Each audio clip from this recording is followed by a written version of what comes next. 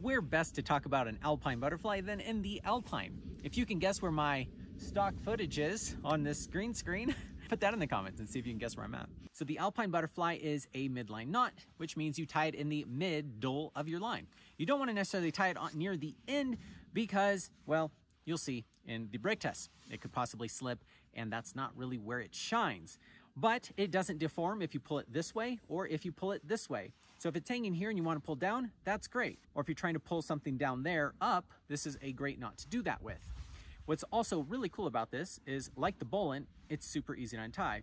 You take the collars or the wings of the alpine butterfly knot and it cracks pretty easily. You break that and pretty soon it's pretty easy to untie.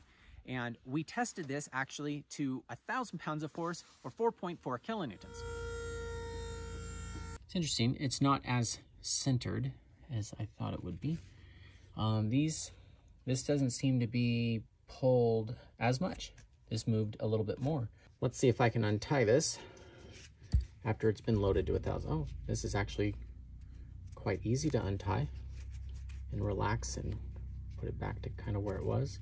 It's probably one of the easiest knots I've done so far after it's been loaded to that much. Let's take it to 8 kilonewtons and see what happens.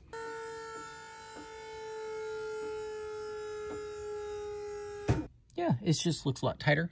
It's currently at 7.3, pulled it up to 8.8. So after 2,000 pounds of force, I can get one wing off quite easy, the second wing off quite easy, and once that's relaxed, the rest of the knot seems to follow. This isn't crossed over anymore. Before it had this natural twist in it and it was going around this way and then looping through and now it seems to not be that way at all. Now the history of this is pretty funny. 1902 is when this was originally drawn by Henry Bushby. Now remember this stuff. It didn't really have a name.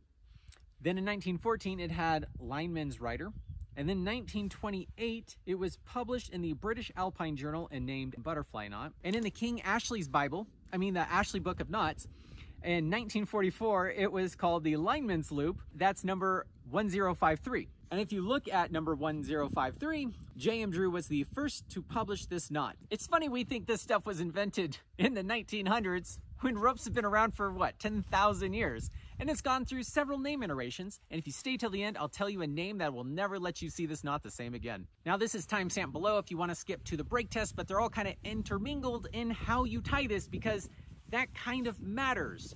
If you wrap it around your hand three times and you reach under this strand, you can pull this guy out and put it over here, and now you have the loop of the butterfly. Pull that down, pull this over, and you have to make sure that it has wing on this side, wing on this side, so same side. You have, this is parallel, and this is crossed. And that's how you know you've got it right. So everything is interlinked. Instant replay is to wrap it around your hand three times, reach under this guy, grab the middle one, bring it around, stick it underneath all of them. And that is how you interlock those two sides. Wings on that side, parallel, crisscrossed.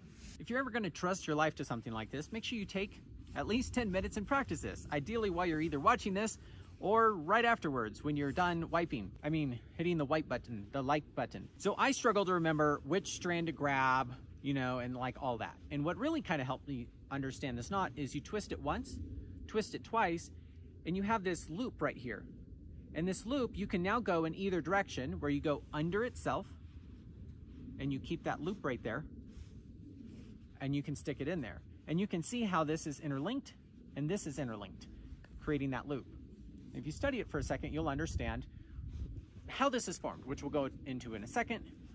Crisscrossed, those are parallel, collars are on the outside.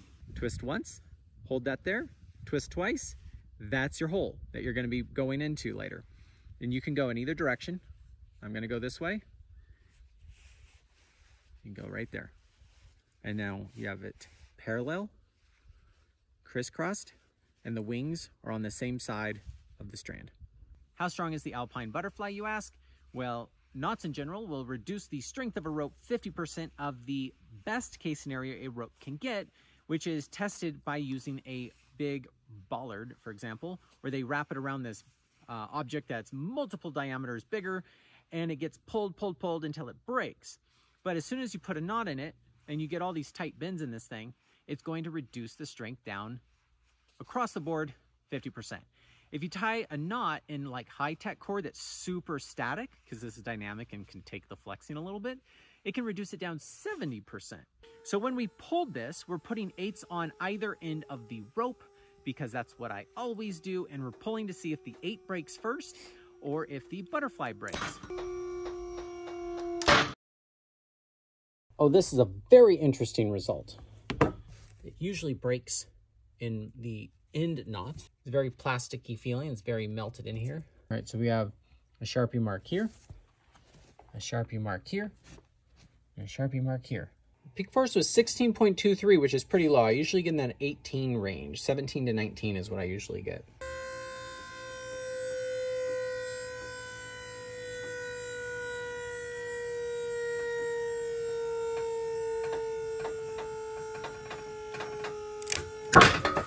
It didn't slip. It's starting to fall apart here because this is part of it.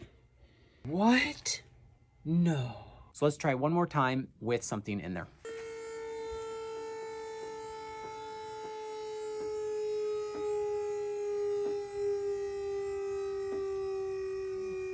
Starting to slip now.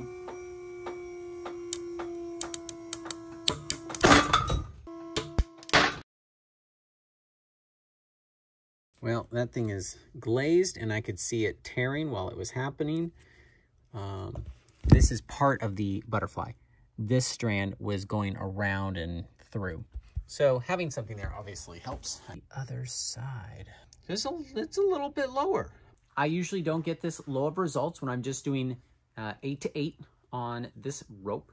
So I am going to conclude that I'm getting lower results having an alpine butterfly in there when you're pulling end to end and the knot is just in the middle, whether or not something's in the middle of it. But the whole reason you tie a butterfly is so you can clip something to it. What happens if we clip the butterfly and pull with it with an 8 on the end? So we have an 8 that's going to a butterfly, and once you clip into that, you are loading this strand, and this is your tail, which goes basically infinitely long into my bag.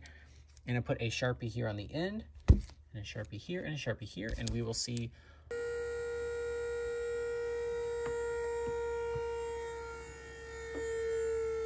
ah. Interesting. Oh, interesting. Oh, interesting. Oh, it broke on this eight this one here got sucked into the knot because I believe it was in that range. Well, it, that's full strength right there, 18.55. Full knot strength, I should say. So this is at 10 and a half kilonewtons, and then this was at 15 kilonewtons, and it finally broke at 18.55. Uh, it doesn't really matter the strength of a knot as long as you're maintaining most of it. What's really cool about this is it doesn't deform when you're using it, and it's easy to untie, so there's benefits to using this. You don't want to just use the strongest knot possible because like that's not always what you need.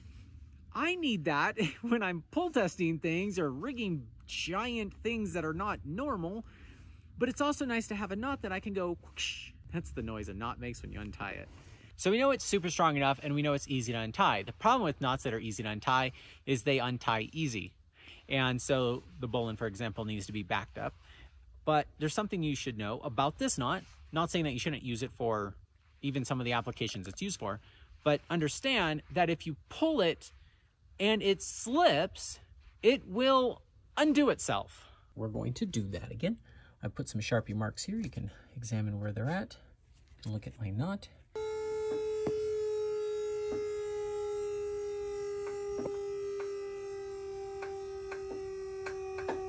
Ah, oh wow. Oh, wow, it didn't break.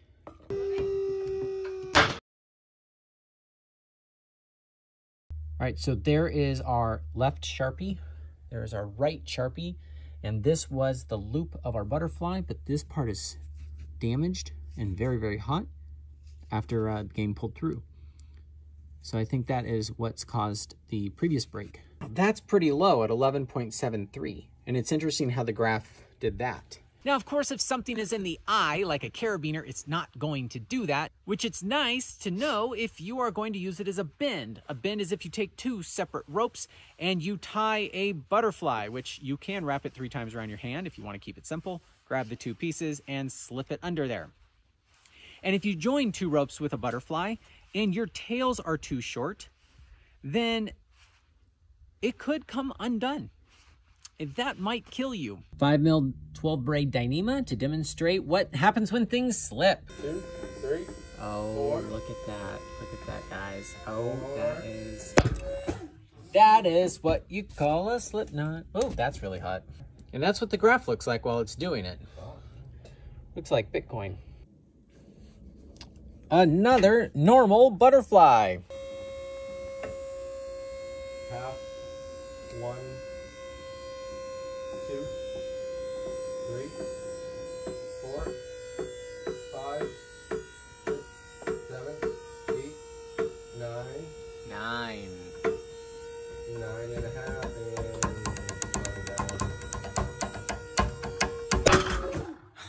I think that's the coolest result. Ooh, it disappeared. It disappeared. yeah, it's, it's it's nine at least with this rope. Oh yeah. 2.36. Oh, that's so fun. Oh yeah. This is like the fourth time we've done that now. 2.88. yeah, it's just slipping in the twos and then goes up to almost three. Now, something I see this used for more often than not is when there's a core shot or a damage on the rope. Then what you do is you put the damage right there, you reach under, and you isolate it so the rope that you have to rappel or ascend is bomber, and the dangerous part is left out of the system. But if this also gets sucked through, you have the core shot back into the party. Like, just like that. Anyways, now this is more likely to happen with a super cord or a six millimeter high strength tech, high tech cord. And some ropes are now made out of Dyneema sheath and Dyneema core. So they're naturally slipperier ropes.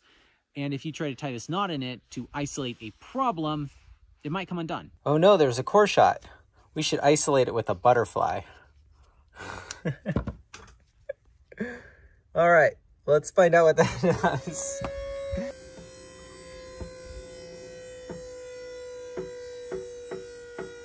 Seven, eight, nine.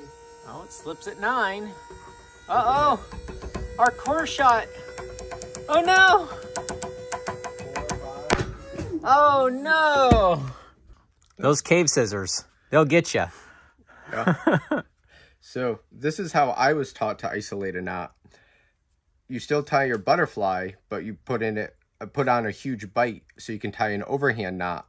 So this allows you to clip a cow's tail on to be able to actually pass this big knot that's in your Yeah. in your line because you either need to move your croll and ascender up and over the knot or your descender below the knot.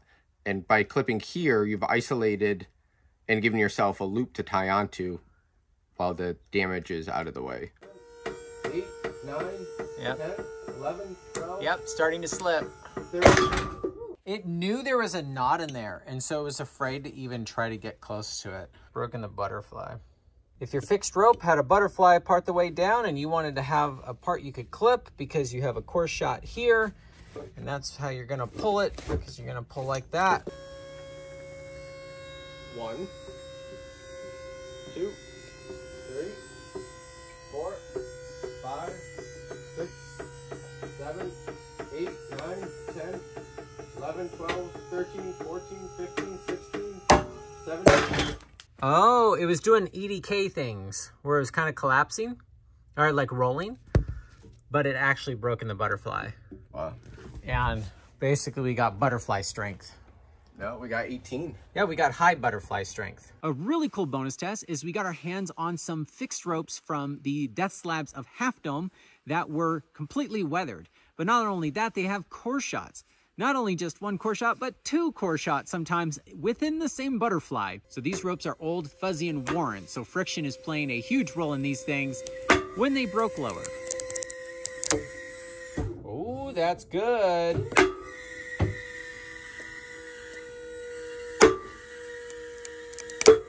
Oh, look at that. Oh my God, it's still alive. Oh my God. Oh, that was good. Oh, that was amazing. Ah, that is not very high. It's strong enough to ascend, which is all people do on that. Second test has a figure eight, whatever you want to call this thing. Was a butterfly. Oh no, I don't even know if it was that. And a clove hitch, because I didn't have enough tail. That's what the eight is doing. Oh, that's what that's doing. Oh, that's gonna go.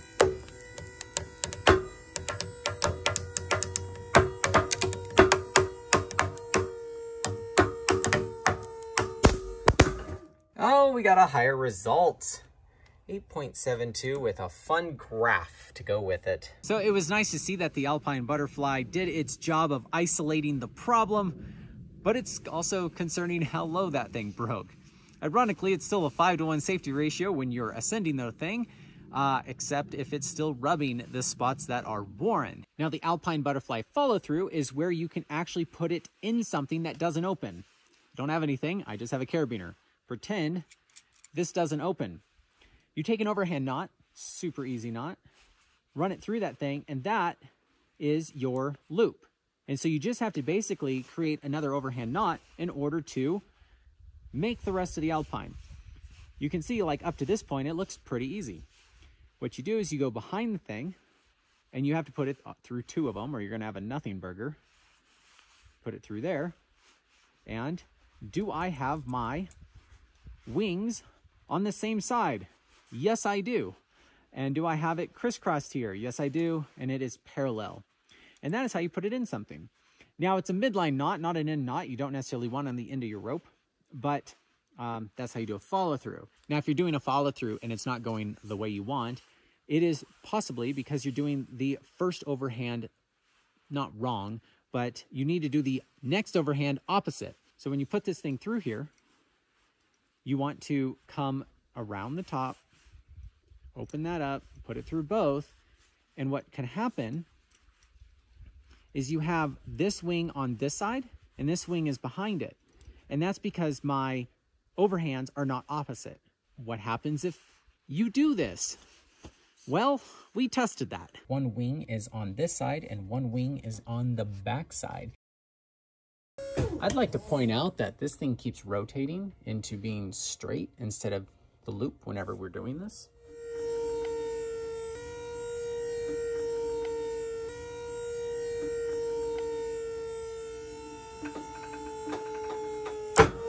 Oh, that's cool. Oh, that's cool. And that looks like a butterfly with a very small eye. it's just hard for this to go through because that has, you know, a, it's, it's, it's a bite. We've got a 12 kilonewtons here and then 14, 14 and it broke. We're pulling the butterfly.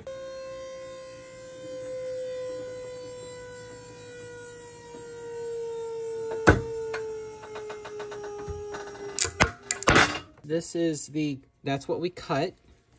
That's what broke and it's melted. And our eight is weaker than an improper tied butterfly. You know, a lot of knot people are going to be upset about the fact these things, I don't want to say it. Now, this is not an alpine butterfly. It is literally tied wrong, except in ABOK number, ABOK number 1452, the name is another original bend that is easily untied as 1451. It appears to be strong, secure, and compact. It might be super good enough, but if you're going to try tying an alpine butterfly, do it right. Now, another way that can be done wrong is if you turn it this way and then turn it this way, you still get that loop in the middle, and then you have to make a funny face. Keep that eye. What you have here is this is parallel and this is parallel, meaning they're not interlocked. which means you can separate it, which means it has a risk of being able to pull off and then you have a slip knot. So we tested this as well. They're basically not interlinked and it is um, basically not even a knot. And so we're gonna pull uh, ugly undress figure eight to this and to see if it fails.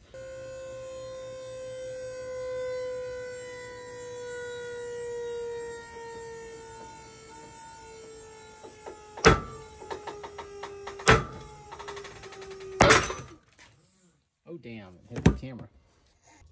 But it held, I mean, albeit it held.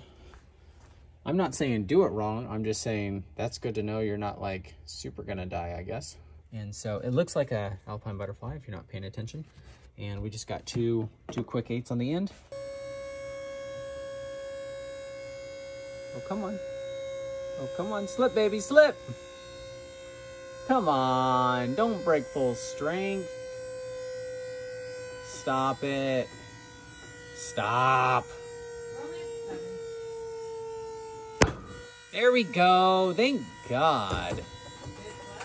Yeah.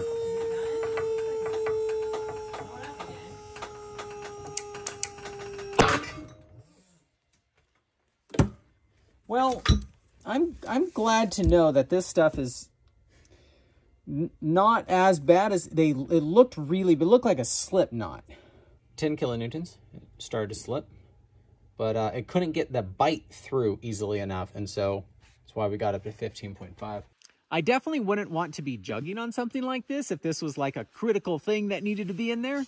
But it is nice to know that if you are grabbing the eye, that it's super good enough. Now, I wonder if we pulled end to end. Yeah, that's just a, that's a wonky knot. Don't do that.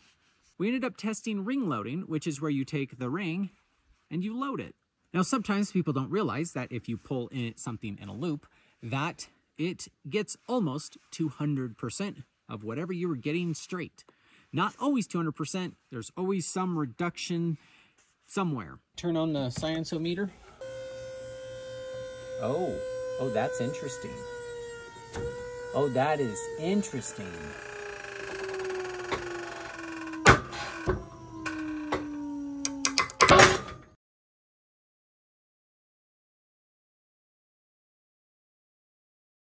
What is going on here? So this was the end of our rope. This was our butterfly. Looks like it broke where this carabiner was. Neato, but it was just collapsing around 20 and then one went all the way to 28. Examine those butterflies. We're gonna load it that way. And this one I'm gonna clip here and we're gonna load it that way. Oh, that's so interesting.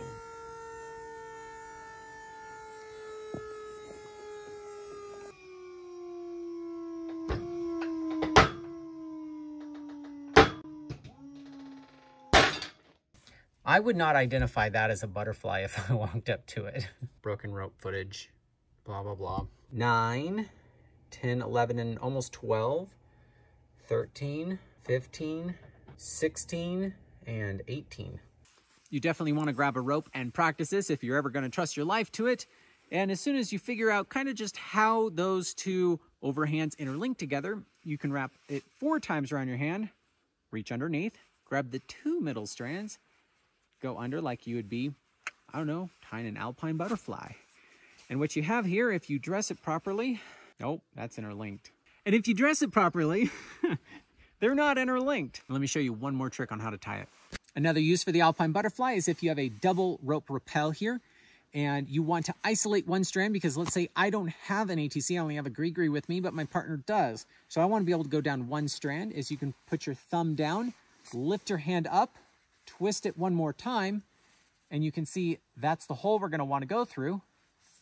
So I give myself a little slack, come behind, and I go through that hole, and you have a uh, double alpine butterfly here. And so you can actually clip these for personal anchor as you clip in, and you can use this to have two people go down at the same time. This is known as a twin static system in our Canyon Rope Systems course going to put a loop of rope in my hand like that. And then I'm going to flip my hand over, flipping the loop of rope towards the inside, towards my arm. And then the two strands that are still going down the pitch will create a loop like that. So I should have something that looks like this and I can adjust the length of this at this point. Once I have enough rope here for the size loops that I want, I'm gonna grab those loops through that hole and set this down nice and snug. Which doesn't allow for any indirect rescue, but it's for in a climbing scenario like I would be doing here. This is pretty freaking awesome.